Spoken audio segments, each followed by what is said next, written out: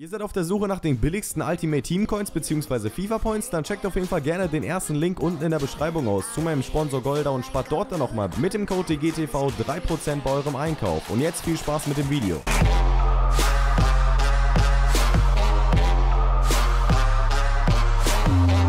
Wahrscheinlich ist Connor Chaplin von Portsmouth einfach mal zu St. Pauli gewechselt. Alles klar. Servus YouTube und herzlich willkommen hier wieder zurück auf meinem Kanal zu einer weiteren Folge der FIFA 17 1860 München Simulate to Glory Karriere. Der immer noch längste Name einer Serie hier auf meinem Kanal. Falls ihr mehr von der 1860 München STG sehen möchtet, letzten Tage kam das Ganze ja nicht, weil wir Spielerkarriere hatten und so weiter. Ich habe das Ganze auch im Livestream so ein bisschen erklärt gehabt, dass wenn ich eben so ein bisschen Ahnung habe, wie ich die Folge ja von der Kreativität her gestalte, ich dann eher das mache, wo ich die Ahnung habe, als eben das mache, was jetzt irgendwie schon schon zwei Tage her ist. Also das heißt, dass ich da lieber darauf achte, dass die Folge auch wirklich gut wird, anstatt dass ich einfach irgendwie einfach einem Upload-Plan oder quasi einem Plan hinterherlaufe, von wegen an dem Tag kommt jetzt Spielerkarriere und an dem Tag jetzt die 1860 München STG. Wenn ich weiß, Spielerkarriere, da will ich das und das machen und bei der 1860 München STG weiß ich es jetzt noch nicht wirklich, dann mache ich eben lieber Spielerkarriere. So ist das zumindest bei mir immer. Die Leute, die die letzte Folge nicht gesehen haben, können das Ganze echt ziemlich gerne abchecken. War so eine Rauf-Runter-Folge. Am Anfang waren wir ziemlich, ziemlich am Boden wir waren so in Richtung Abstieg eigentlich von der Tabellenposition, aber letzten Endes haben wir uns dann nochmal hochgekämpft und sind momentan nach 17 Spieltagen Vierter in der zweiten Bundesliga. Bisher eine ziemlich ordentliche Leistung für die heutige Folge sind Wintertransfers angesagt. Und das Ganze natürlich mit euren Transfervorschlägen. Lasst natürlich auch gerne als Unterstützung für die heutige Folge der 1860 München STG euren Daumen nach oben da. Würde mich freuen, wenn wir wieder 3000 Likes auf die heutige Folge packen würden. Ich glaube an die Hashtag DGTV Army und denke wirklich, eben weil es auch eine Transferfolge ist, interessiert natürlich immer mehr Menschen Menschen so, was da jetzt letztendlich passieren wird in der Transferphase, welche Spieler wir holen, welche Spieler gehen und so weiter. Das interessiert natürlich immer mehr Leute, deswegen würde mich euer Support auf die heutige Folge mega freuen. Ansonsten checken natürlich auch Links in der Beschreibung aus zu Instagram, zu Twitter, zu Golda und sonst was. Und jetzt haben wir den Standardkram durch und starten rein in die Folge. Falls die Audioqualität immer noch nicht perfekt sein sollte, liegt das Ganze einfach daran, dass ich jetzt in meinem neuen Zimmer bin. Wie gesagt, Roomtour kommt dann, wenn das alles hier fertig ist und ich selber auch damit zufrieden bin und sagen kann, dazu wird es jetzt eine Roomtour geben. Aber es ist natürlich immer noch nicht alles voll, das heißt, es halt ein bisschen. Die Audioqualität könnte minimal schlechter sein als sonst, aber das wird dann auch die Tage wieder besser. Versprochen. Ihr habt mir unten in die Kommentare geschrieben, dass sich jetzt natürlich die Trainingseinheiten so ein bisschen ändern sollte. Wir haben jetzt unter anderem einige Spieler mit einem sehr ordentlichen 70er Rating und könnten jetzt natürlich auch solche Spieler wie Upamecano oder eben zum Beispiel auch Udokai trainieren, dass die vom Rating her so ein bisschen aufholen, denn wir wollen natürlich nicht nur die Spieler pushen jetzt wie Selke und Wellenreuter, sondern so einen ausgeglichenen Kader haben und deswegen werden wir einfach mal Selke aus der Trainingseinheit nehmen und dafür kommt Udokai rein. Und anstelle von Duziak, der sein Potenzial schon fast ausgeschöpft hat, hat glaube ich ein 76er Potenzial und ist jetzt schon bei einer 72. Dafür kommt Upamecano rein und damit gehen wir rein in die erste Trainingseinheit der heutigen Folge. Drei Innenverteidiger werden trainiert, daneben noch Stefaniak und Wellenreuter und die Trainingseinheit sieht, na, nicht so gut aus. Für die Transferphase habe ich natürlich einiges geplant. Jetzt von unserem Kader her will ich jetzt nicht so viele Spieler verkaufen. Ich möchte den Kader jetzt auch nicht krass wirklich anders gestalten. Michi Lindl kehrt von seiner fünfmonatigen Verletzungspause auch endlich mal wieder zurück. Das ist natürlich eine geile Nachricht, muss man sagen. Was Besseres gibt es doch eigentlich gar nicht für 1860 München. Um nochmal auf den Punkt zurückzukommen, also ich würde jetzt ungerne wieder komplett was an der Mannschaft verändern. Also so ein paar Ergänzungen kann man natürlich gerne machen. Spieler, wenn wir Transferangebote reinbekommen sollten, könnten natürlich auch verkauft werden. Also wenn wir da mal schauen. Los geht's jetzt mit der Transferphase und wir bekommen direkt zwei Transferangebote rein. Und zwar einmal für Timon Wellenreuter von PSV Eindhoven. Da würde ich aber ganz gerne 10 Millionen haben und nicht die 3,1 Millionen, die Eindhoven bietet. Und ein Angebot von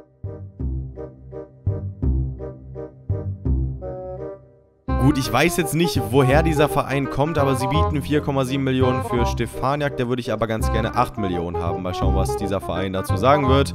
Und ein Angebot von Montpellier. Okay, der Verein sagt mir schon ein bisschen mehr, aber es kommt aus Frankreich, aus der Ligue 1 und da verlangen wir ebenfalls 8 Millionen. So, Monatsbericht der Jugendmannschaft. Da schauen wir rein und haben, oh mein Gott, der ist krass. Tom Schäfer, 17 Jahre alt, 59er Gesamtrating, 81 bis 94er Potenzial. Der wird auf alle Fälle verpflichtet. Ansonsten haben wir daneben auch noch Emil Engel, der ebenfalls nicht schlecht aussieht, 16 Jahre jung, Torhüter, 76er bis 94er Potenzial ist auch ziemlich ordentlich. Niklas Neumann sieht auch nach einem nicht wirklich schlechten aus, aber hat gerade mal ein 40er Rating. Das ist schon ein bisschen, ja, ist schon ein bisschen schwach im Vergleich zum Beispiel zu Tom Schäfer. Und auch der Jan Engel hier sieht ziemlich krass aus. Zentraler Mittelfeldspieler mit 73 bis 93 Potenzial. Mal schauen, wie der sich jetzt so bei den nächsten Berichten entwickeln wird. Und den Oliver Klein hier, den können wir freigeben.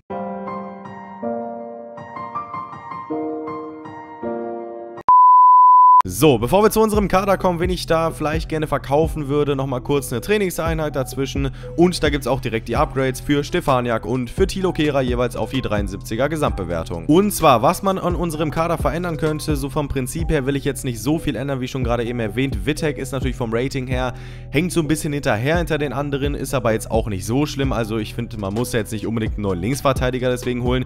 Eigner würde ich wahrscheinlich auf die Transferliste setzen. Der ist zwar einer unserer Topscorer und wahrscheinlich wahrscheinlich auch für die zweite Bundesliga vielleicht ein bisschen zu gut und das ist eben der Punkt.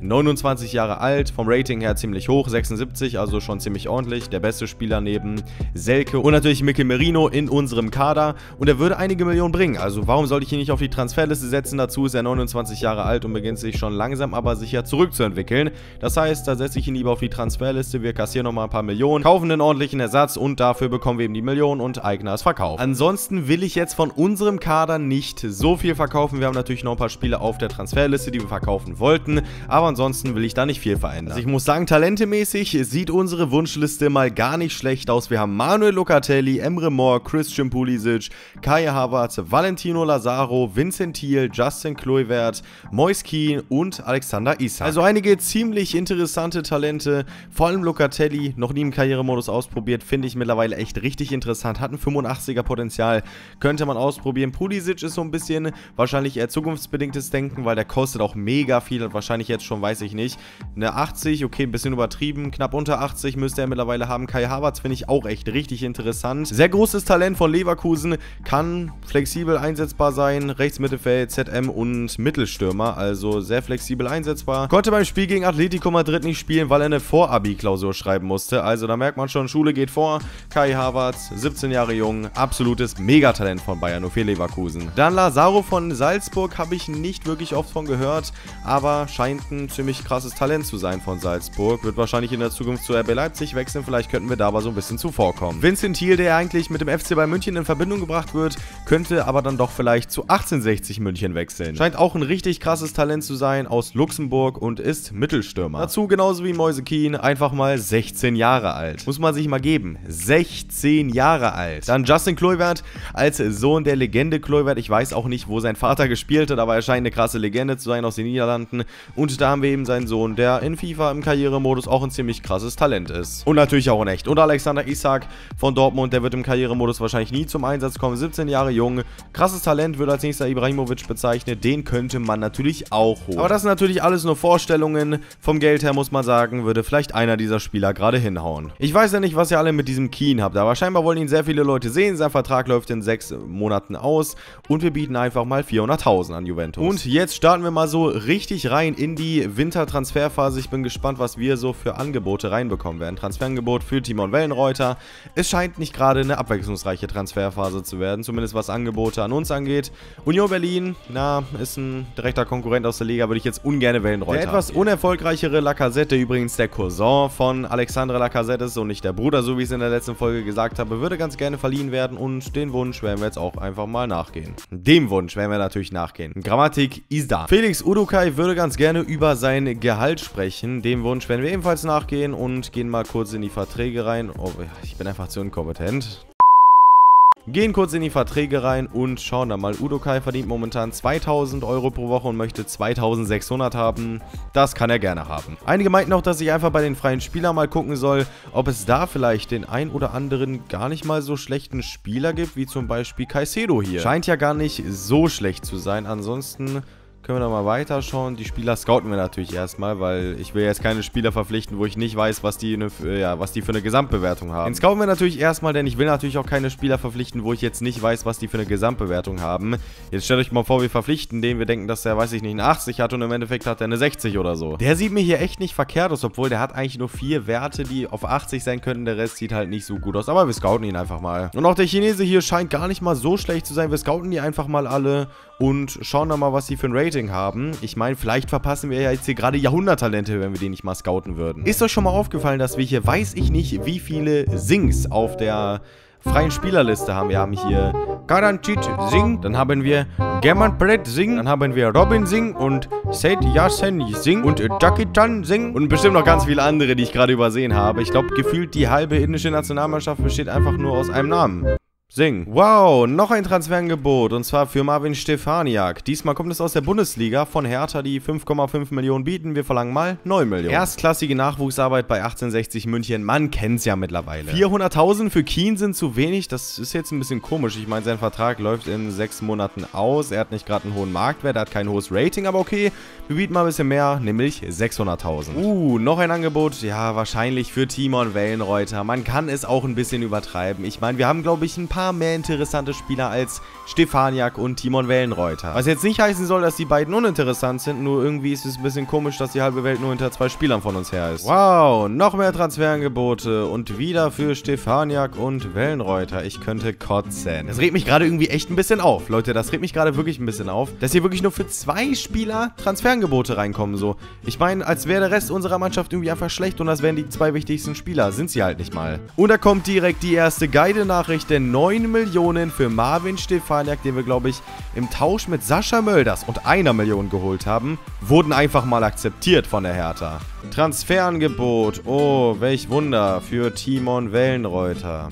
Ich Wenn der nächste random Verein aus Europa jetzt noch ein Angebot für Timon Wellenreuter macht, dann lehne ich jetzt einfach mal alle Angebote ab und auch alle künftigen Angebote, weil ich habe keinen Bock mehr, dass irgendwelche FC Kick danebens meinen Timon Wellenreuter haben wollen und dann irgendwelche Summen wie 3 Millionen bieten. So, das sehe ich gar nicht ein. Der hat ein 75er Rating mittlerweile. Ja, Frankfurt ist auch so ein Verein, etabliert in der Bundesliga, bietet aber nicht mehr als 3,9 Millionen für Timon Wellenreuter. Sehe ich gar nicht ein. Und Groningen, da hatten wir das Ganze jetzt mit der Hertha, das heißt, das können wir auch ablehnen, das Angebot für Stefaniak. Groningen hat Interesse nicht nur an Stefaniak, sondern auch an Wellenreuter. Die wollen uns aufkaufen. Der böse FC Groningen. Da wir natürlich auch ein Ziel haben, was die Jugendarbeit betrifft, müssen wir jetzt mal hier gucken, dass wir am besten ein paar Verteidiger mitnehmen. Da haben wir unter anderem haben wir den hier, Christoph Kaiser, der Verteidiger ist. Wir müssen sie ja nur verpflichten. Wir müssen sie ja jetzt nicht weiter fördern, aber das Verpflichten gilt und ich glaube, da sollten wir jetzt auch eigentlich durch sein oder schon ein bisschen was haben. Gucken wir mal ganz kurz rein und zwar haben wir bisher einen Spieler verpflichtet. Einen von drei Verteidigern, was die Jugendakademie angeht. Weitere Transferangebote? Nee, nee, ganz ehrlich, nein. Künftige Angebote ablehnen für Timon Wellenreuter. Das sehe ich gar nicht meinen, dass irgendwelche FC Toulouse jetzt irgendwie ein Angebot für Timon Wellenreuter machen. Ja, jetzt kommt auch noch Hannover 96 an, die Interesse an Stefaniak haben, aber nicht in der eigenen Liga. Ich werde Stefaniak sicherlich nicht in der zweiten Bundesliga verkaufen und auch nicht an Stuttgart oder Hannover 96. Transferangebot für Stefaniak. Ich dachte, wir haben den jetzt verkauft. Wird auch langsam aber sicher mal Zeit, dass jetzt irgendwie der Deal durchgeht, weil irgendwie mache ich mir jetzt hier schon Sorgen.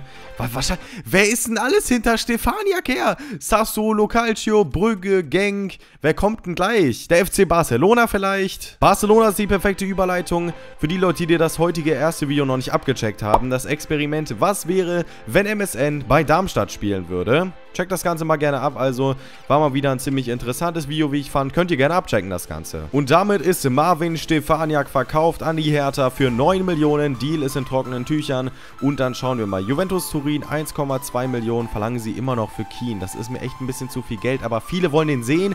Und mittlerweile haben wir das Geld. Deswegen bieten wir mal langsam aber sicher so in Richtung dieser 1,2 Millionen, nämlich 900.000. Auf der Suche nach einem Ersatz für Stefaniak bin ich hier bei Vincenzo Grifo stehen geblieben. Ich weiß halt nicht, was der für ein Rating Rating hat. Freiburg wird den bestimmt nicht für wenig Geld ziehen lassen, aber wir schauen einfach mal, scouten den und das gleiche gilt auch für Serge Gnabry, auch wenn der wahrscheinlich von der Ablösesumme ein bisschen zu weit oben für uns ist. Glaubt mir, wenn euch irgendjemand erzählen möchte, dass es unglaublich einfach ist, einen linken Flügel bzw. linken Mittelfeldspieler zu finden, der jung ist, Potenzial hat, nicht zu teuer ist und nicht zu unrealistisch ist für 1860 München, dann hat der Typ entweder keine Ahnung oder lügt euch ganz dreist an. Wir haben jetzt drei Möglichkeiten. Entweder wir investieren unser ganzes Geld in Chris Christian Pulisic und sind nicht mal sicher, dass wir ihn bekommen können.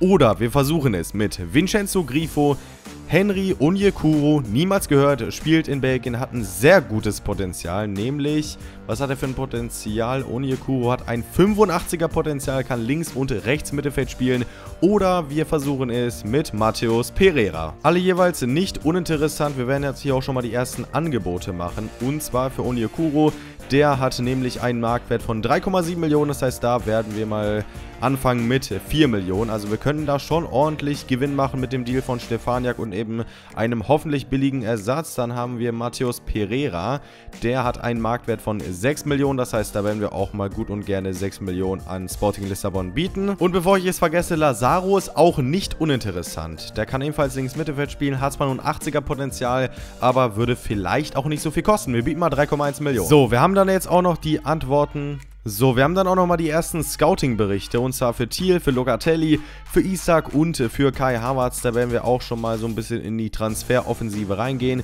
und bei Kai Havertz einfach mal den Marktwert, nämlich 2,5 Millionen bieten. Gleiches tun wir bei diesem Wertenherrn hier bei Manuel Locatelli bieten wir 4,6 Millionen an den AC Mailand und bei Vincent Thiel werden wir eine Million an den FC Metz bieten. Übrigens für die Leute, die es nicht wussten, der FC Metz ist ja schon eine etwas bekanntere Talentschmiede. Ein Verein, wo unter anderem Spieler wie Miralem Pjanic, Franck Ribéry oder Sadio Mané gespielt haben. Also man merkt schon, Spieler, die von Metz zu einer weiteren Station wechseln, in unserem Fall wäre es 1860 München, scheinen sich ja nicht so schlecht zu entwickeln. Juventus Turin hatte 900.000 Euro für Moise Keen akzeptiert und damit würde ich sagen, machen wir den Deal perfekt. Er wäre bei uns Rotationsspieler, er kriegt einen 5-Jahres-Vertrag mit 6.000 Euro pro Woche Gehalt. Stefaniak ist nicht mehr da, dafür werden wir jetzt aber Tom Schäfer trainieren, denn ich glaube, der könnte ein richtig krasser werden. Wir müssen natürlich auch so ein bisschen die Jugendspieler Spieler pushen. Ich glaube, das war auch eines der Ziele vom Vorstand, was die Jugendarbeit betrifft, dass wir da die Spieler um ich weiß nicht wie viele Gesamtbewertungen pushen, aber ich glaube mit Tom Schäfer, der ein ziemlich krasses Potenzial hat, sollte das Ganze möglich sein. Eupen würde ganz gerne 9 Millionen für Onyekuro haben. Das ist ein bisschen viel. Wir bieten mal 4,5 Millionen. Ach ja, von den freien Spielern ist keiner jetzt wirklich nennenswert. Wir haben einmal Wang Zheng Zhao mit einem 67er Rating, das mit einem 57er Rating und Caicedo mit einem 67er Rating, also alle nicht wirklich so. Mateus Pereira, da sind wir leider geschlagen, denn Mainz bietet 7 Millionen und das würde ich jetzt ungern für Pereira bieten. Wir könnten zwar schon Lazaro holen für 3,1 Millionen von Salzburg, aber ich weiß nicht. Er hat halt nicht das krasse Potenzial, aber es würde halt für den Anfang zumindest reichen. Dazu würde er Stefaniak 1 zu 1 ersetzen, da er ein 72er Rating hat. Okay, Stefaniak hat jetzt im Laufe der Folge eine 73 bekommen, aber das ist mit Lazaro, denke ich mal, auch möglich. Für Thiel müssten wir 1, 1,4 Millionen bezahlen. Da gehen wir mal auf 1,1 Millionen und schauen dann mal, was der FC Metz dazu sagen wird. Und bei Kai Havertz würde Leverkusen ganz gerne 4,2 Millionen haben. Das ist ja gar nicht mal so weit hergeholt. Da bieten wir 3 Millionen. Und damit machen wir den ersten Transfer der Wintertransferphase perfekt. Mit Keen, mit einem 63er Rating, 16 Jahre jung. Und der wechselt für 900.000 Euro von Turin nach München, von Juventus zu 1860 München. Und auch der Backup für und auch der Ersatz für Stefaniak ist gefunden. Mit Valentino Lazaro holen wir unseren zweiten Spieler in der Wintertransferphase. Ich würde mal sagen, das ist doch ein sehr schöner Abschluss für die heutige Folge der FIFA 17 1860 München STG. Falls ihr mehr von dieser Serie sehen möchtet, dann lasst gerne einen Daumen nach oben. Da ist einfach die beste Unterstützung und je mehr Daumen nach oben natürlich auf einem Video der 1860 München STG vorhanden sind, zeigt mir natürlich auch, wie viele Leute eben Bock haben auf diese Serie. Sind es da vielleicht auch mehr Leute als bei der Spielerkarriere? Also lasst mal ordentlich die Daumen nach oben krachen. Vielleicht packen wir ja 3000 Likes auf die heutige Folge. Wäre echt übertrieben fresh von euch. Und damit sehen wir uns in der nächsten Folge weiterhin in der Wintertransferphase wieder. Bis dahin wünsche ich euch noch einen wunderbaren Tag. Könnt natürlich auch gerne Transfervorschläge in die Kommentare eliminieren. Bis dann, haut rein und ciao.